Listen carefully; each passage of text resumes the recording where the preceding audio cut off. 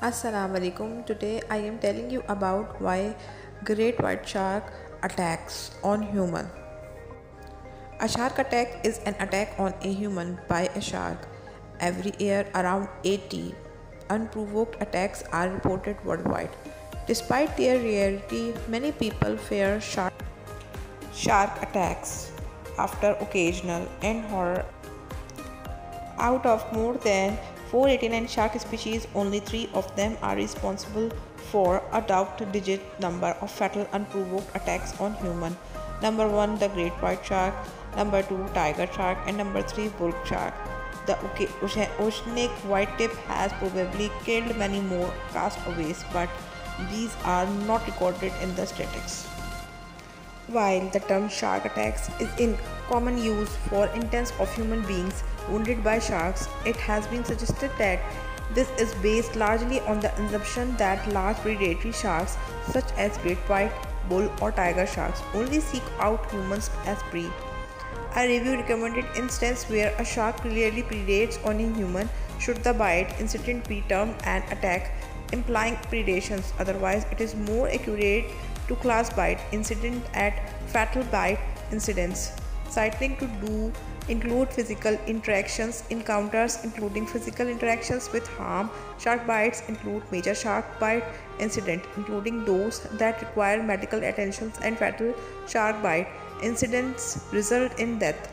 The studies should suggest that only in a case where an expert validates the predatory intent of a shark won't be appropriate to term a bite incident an attack. The Florida Museum of Natural History compares these statistics with the much higher rate of deaths from other causes.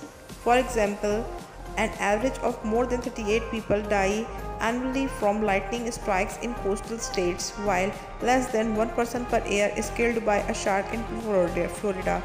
In the United States, even considering only people who go to beaches, a person's chance of getting attacked by a shark is 1 in 11.5 million and a person's chance of getting killed by a shark is less than 1 in 26.4 million. However, in certain situations, the risk of a shark attack is higher. For example, in the southwestern of Western Australia, the chances of a sufferer being fatally bitten by a shark in in winter or spring are in 40,000 and for divers it is 1 in 16,000 in comparison to the risk of a series of, of fatal cycling accident. This represents 3 times the risk of for a suffer and 7 times the risk of for a drive.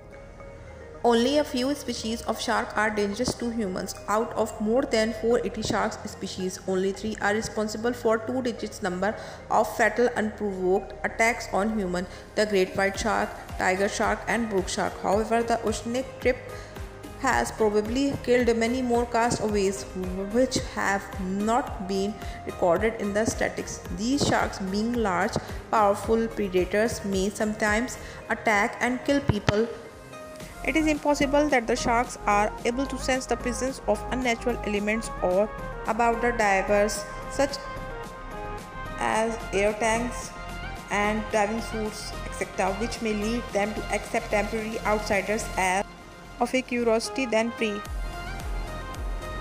However, such as those subboarding, light, snorkeling or swimming present a much greater area of exposed skin surface to shark. In addition, the presence of even small traces of blood, recent minor abrasions, cut, scrapes, or bruises may lead shark to attack a human in their environment. Sharks seek out of pre through electroreception, sensing the electric fields that are generated by all animals due to the activity of their nerves and muscles. Most of the oceanic white-tip sharks attack have not been recorded unlike the uh, other three species mentioned above. Reasons for attack Large shark species are apex predators in their environment and thus have little fear of a creature other than with which they cross path. Like most, they are curious when they encounter something unusual in their territories, lacking any limbs with sensitive digits such as hand or feet. The only way they can explore an object or organism is to bite it. These bites are known as test bites. Generally, shark bites are exploratory and the animal will swim away after one bite. For though thought to be caused by the shark mistaking the surfer and surfboard for the shape of prey. nothing less a single bite can grievously injure a human if the animal involved is a powerful predator such as a great white or tiger shark. A shark will normally makes one swift attack and then retreat to wait for the victim to die or weaken from shock and blood loss before returning to feed. This protects the shark from injury from a wounded and aggressive target. However, it also allows human time to get out of the water and survive. Shark attacks may also occur due to territorial reason or as dominance over another shark species resulting in an attack. Sharks are equipped with sensory organs called the ampullae of Lorenzini that detects the electricity generated by muscle movements. The shark's electrical receptors which pick up movement detect signals like those emitted from fish wounded. For example, by someone who is spearfishing, leading the shark to attack the person by mistakes. How to preventing shark attacking?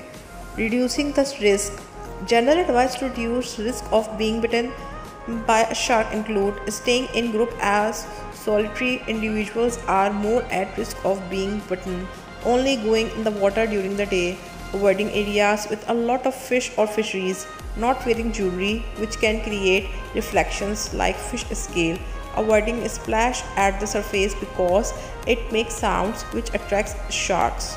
Shark barriers. A shark barriers otherwise known as a shark proof enclosure or beach enclosure, is seabed to surface protective barrier that is placed around a beach to separate people from sharks. Shark barriers form a fully enclosed swimming areas that prevent sharks from entering.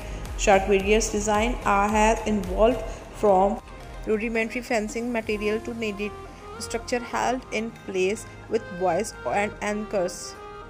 Shark net in Australia and South Africa, shark nets are used to reduce the risk of shark attack. Shark nets are currently installed at beaches in New South Wales and Queen's Island. 83 beaches are matched in Queen Island compared with 51 in New South Wales. Since 1952, nets have been installed at numerous beaches in South Africa. Shark nets do not offer complete protection but work on the principle of fewer sharks, fewer attacks. They reduce occurrence via shark mortality. Reducing the local shark populations is believed to reduce the chance of an attack. Historical shark attacks fingers suggest that the use of shark nets are and drumlines does markedly reduce the incidence of shark attacks when implemented on a regular and consistent basis.